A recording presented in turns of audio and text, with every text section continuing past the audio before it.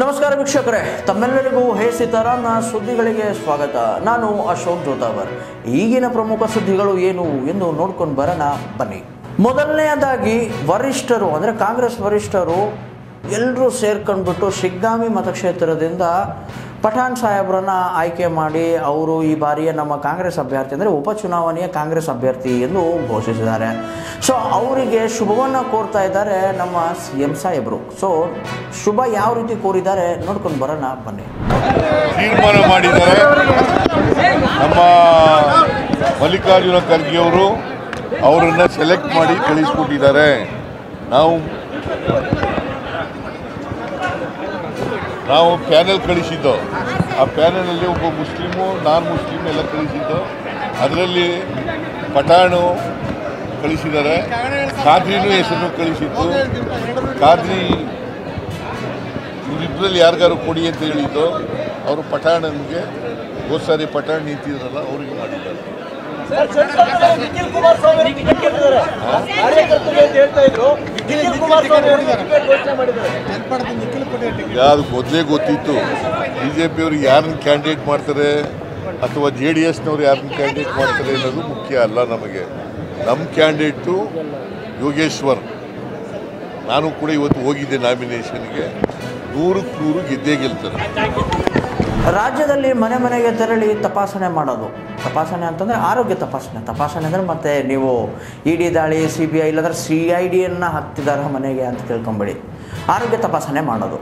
So ಆರೋಗ್ಯ ಸಚಿವರು, ಕರ್ನಾಟಕದ ಆರೋಗ್ಯ ಸಚಿವರಾದಂಥ ದಿನೇಶ್ ಗುಂಡೂರಾವ್ ಸಾಹೇಬರು ಇದನ್ನು ಅಫಿಷಿಯಲ್ ಆಗಿ ಅನೌನ್ಸ್ಮೆಂಟನ್ನು ಮಾಡಿದ್ದಾರೆ. ಸೊ ಎಕ್ಸಾಕ್ಟಾಗಿ ಅವರು ಹೇಳಿರುವಂತಹ ಮಾತುಗಳೇನು? ಕೇಳ್ಕೊಂಬರೋಣ, ಬನ್ನಿ. ಆಗುವಂಥದ್ದು ಇರ್ಬೋದು ಕ್ಯಾನ್ಸರ್ಗಳಿರ್ಬೋದು ಮೂತ್ರಪಿಂಡ ಕಾಯಿಲೆಗಳಿರ್ಬೋದು ಈ ರೀತಿಯಾದಂಥ ಹಲವಾರು ಕಾಯಿಲೆಗಳಿಗೆ ಕಾರಣ ಆಗ್ತದೆ. ಆದ್ದರಿಂದ ನಾವು ನಮ್ಮ ಇಲಾಖೆಯಿಂದ ಈಗ ಏನು ಪ್ರಾರಂಭ ಮಾಡ್ತಾ ಇದ್ದೀವಿ. ಇಡೀ ರಾಜ್ಯಾದ್ಯಂತ ಇವತ್ತು ಕೋಲಾರಿಂದ ಪ್ರಾರಂಭ ಆಗಿ ಜನವರಿ ತಿಂಗಳಿಂದ ಇಡೀ ರಾಜ್ಯಕ್ಕೆ ವಿಸ್ತರಣೆ ಆಗ್ತದೆ. ಪ್ರತಿಯೊಂದು ಮನೆಗೂ ಕೂಡ ನಮ್ಮ ಆರೋಗ್ಯ ಇಲಾಖೆಯ ಕಾರ್ಯಕರ್ತರು, ಸಿಬ್ಬಂದಿಯವರು, ವೈದ್ಯರು ಎಲ್ಲರೂ ಸೇರಿ ತಪಾಸಣೆ ಮಾಡುವಂಥದ್ದು ಮೂವತ್ತು ವರ್ಷಕ್ಕಿಂತ ಹೆಚ್ಚು. ಗೃಹ ಆರೋಗ್ಯ ಅಂದರೆ ಮನೆ ಮನೆಗೆ ಹೋಗಿ ಆರೋಗ್ಯ ತಪಾಸಣೆ ಮಾಡುವುದು ಅಂದರೆ ಆ ಒಂದು ಯೋಜನೆ ನನ್ನ ಒಂದು ಕನಸಿನ ಯೋಜನೆ ಎಂದು ಆರೋಗ್ಯ ಸಚಿವರು ಒಂದು ಮಾತನ್ನು ಹೇಳ್ತಿದ್ದಾರೆ. ರಾಜಾಜಿನಗರದಲ್ಲಿ ಅವ್ರ ಮನೆಯಿಂದ ಒಂದು ಶೂಟನ್ನು ಮಾಡಿ ಅವರು ಪತ್ರಿಕರ್ತರಿಗೆ ಎಲ್ರಿಗೂ ಕೂಡ ಅದನ್ನು ಸರ್ಕ್ಯುಲೇಟ್ ಮಾಡಿದ್ದಾರೆ. ಏನಪ್ಪ ಅಂತಂತಂದರೆ, ಈ ಒಂದು ಹೊಸ ಯೋಜನೆ ಬರ್ತಾ ಇದೆ. ಮನೆ ಮನೆಗೆ ಹೋಗಿ ನಾವು ಆರೋಗ್ಯವನ್ನು ತಪಾಸಣೆ ಮಾಡ್ತಿದ್ದೀವಿ. ಇದು ನನ್ನ ಕನಸಿನ ಯೋಜನೆ ಎಂದು. ಸೊ ಅವ್ರ ಕನಸಿನ ಯೋಜನೆ ಬಗ್ಗೆ ಅವ್ರು ಏನು ಹೇಳಿದ್ದಾರೆ ಕೇಳ್ಕೊಂಡು ಬರೋಣ ಬನ್ನಿ. ಆರೋಗ್ಯ ಅಂತ ಹೆಸರು ಏನು ಇಟ್ಟಿದ್ದೇವೆ? ಇದು ನಮ್ಮ ಜನರಲ್ಲಿರುವಂಥ ಏನು ಅನೇಕ ರೋಗಗಳಿಗೆ ಕಾರಣ ಆಗ್ತಕ್ಕಂಥ ಈ ಗೃಹ ಆರೋಗ್ಯ ಕಾರ್ಯಕ್ರಮ ನಾವು ಏನು ಪ್ರಾರಂಭ ಮಾಡ್ತಾ ಇದ್ದೀವಿ ಇವತ್ತು, ಮಾನ್ಯ ಮುಖ್ಯಮಂತ್ರಿಗಳು ಸಿದ್ದರಾಮಯ್ಯ ಸಾಹೇಬರು ಅದನ್ನು ಪ್ರಾರಂಭ ಮಾಡ್ತಾ ಇದ್ದಾರೆ.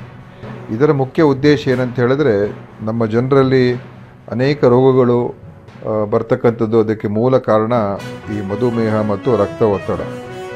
ಅದು ಇದ್ದಾಗ ಅದರ, ಅದನ್ನು ಸರಿಯಾದ ರೀತಿಯಲ್ಲಿ ಅದನ್ನು ನಾವು ಸರಿಪಡಿಸ್ಕೊಳ್ಳದೆ ಹೋದರೆ ಅದು ಬೇರೆ ಬೇರೆ ಕಾಯಿಲೆಗಳಿಗೆ, ಅದು ಹೃದಯಾಘಾತ ಆಗುವಂಥದ್ದಿರ್ಬೋದು ಕ್ಯಾನ್ಸರ್ಗಳಿರ್ಬೋದು, ಮೂತ್ರಪಿಂಡ ಕಾಯಿಲೆಗಳಿರ್ಬೋದು ಈ ರೀತಿಯಾದಂಥ ಹಲವಾರು ಕಾಯಿಲೆಗಳಿಗೆ ಕಾರಣ ಆಗ್ತದೆ.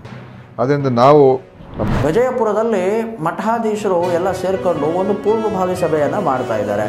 ಆ ಪೂರ್ವಭಾವಿ ಸಭೆಯಲ್ಲಿ, ಅಂದರೆ ಹತ್ತಿರ ಒಂದು ಮಾತೇನು, ಅಪೂರ್ವಭಾವಿ ಸಭೆಯ ಒಂದು ನೇತೃತ್ವವನ್ನು ಯಾರು ಮಾಡಿದ್ದಾರೆ? ಏನದು ಸುದ್ದಿ? ನೋಡ್ಕೊಂಡು ಬರೋಣ, ಬನ್ನಿ.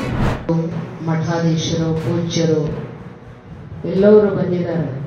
ಸ್ವಲ್ಪ ದಿವಸದಲ್ಲಿ ಸಂಪರ್ಕ ಮಾಡಿದರೂ ಪರವಾಗಿಲ್ಲ.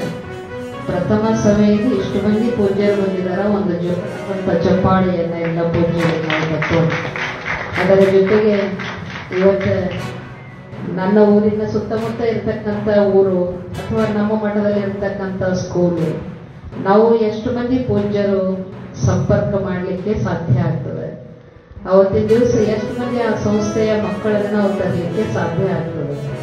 ಇದೆಲ್ಲ ಒಂದು ಸ್ವಲ್ಪ ನಮ್ಮ ಅನುಭವಗಳನ್ನು ಅವನು ಹಂಚಿಕೊಂಡಿವು ಅಂತ ಕೇಳಿದ್ರೆ ಎಲ್ಲ ಒಂದು